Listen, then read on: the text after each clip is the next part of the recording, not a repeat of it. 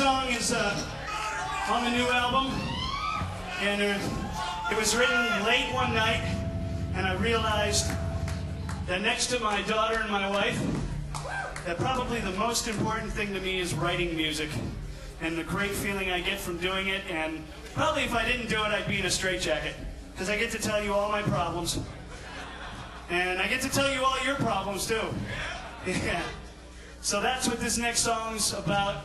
It's about letting your inner self come forward and not holding back a thing. This one's called Let the Spirit Fly.